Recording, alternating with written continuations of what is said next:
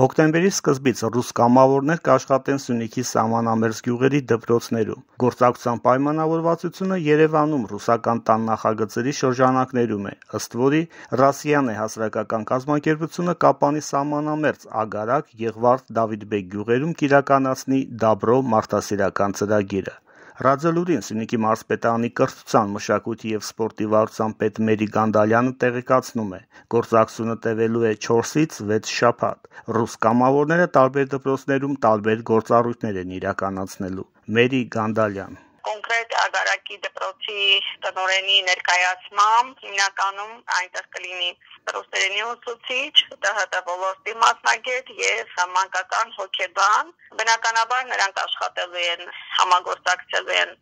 դպրոցի ուսուցիչների հետ մեթոդական, մասնագիտական աջակցություն ցուցաբերելով։ Եղվարդի դպրոցի տնօրենի ներկայացմամբ եւ ցանկությամբ ֆիզկուլտուրայի ուսուցիչը Թոշակարույե որոշեց, որ հիմնականում այդտեղ կժամանի ֆիզկուլտուրայի ուսուցիչ, ավելի սենց սպորտային միջավայրին երիտասարդ մարդիչը ժամանելու, որը ավելի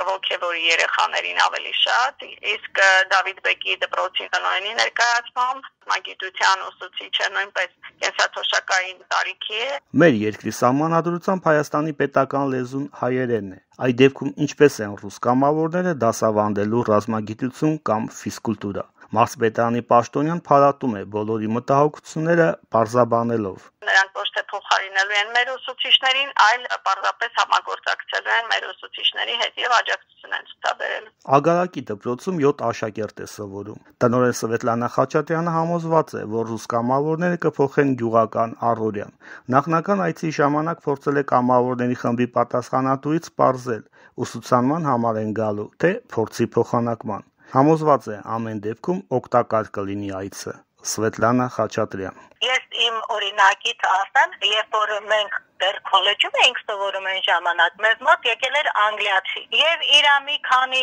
անգլերենով տված դասը մեզ համար ավելի ուսուցողական էր, քան մեր մասնագետների։ Չեմ կարող ասել, ես այդ պատկերացում ունեցել եմ կամավորների մասին։ Ես լավ եմ տրամադրված։ Դժվար չի լինի դպրոցի աշակերտների համար հաղորդակցվել ռուս կամավորների հետ։ Ագարակի դպրոցի տնօրեն Սվետլանա Խաչատրյան։ Այնպես որ յուղի աշակերտն ռուսերեն խոսել չգիտեն, ընդ որում մեր ռուսերենի ուսուցիչներն էլ էին դասի ժամանակ ռուսերեն խոսում։ Մնացած այնտեղ մյուս բաներ ռուսերենից բացի մյուս մասնագետները ինձ թվում է էլի որոշ չափով կարող են շփվել։ Ռուսական տունը Կապանում այդ ծրագրերը նույնպես իրականացնում է եւ սահմանամերձ գյուղերում կամավորների աշխատելու առաջարկը եղել է նրանցը։ Սյունիքի մարզպետարանն առաջարկը քննարկել եւ համաձայնություն է տվել։ Ռուս կամավորների հետ առաջին անգամ են գործակցելու, իսկ միջազգային տարբեր կազմակերպություններից կամավորներ մարզի տարբեր դպրոցներում, մասնավորապես Ագարակում, Դավիթբեկում, Եղվարդում աշխատել են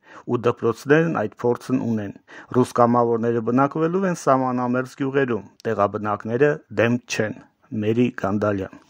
տեղացիները իրենք պատրաստակամություն հայտնեցին, որ կապահովեն բնականաբար վճարվելու են եւ սննդի մասով եւ բնակության համար վճարելու է կազմակերպությունը եւ տեղացիների կամավորները այդ խնդիրը չունեն։ Իդեպ փորձնական այս ծրագրի արդյունքները կարող են հետագայում ավելի երկարատև գործակցության հիմք դառնալ։ Արմեն Դավթյան, Ռադիոլուր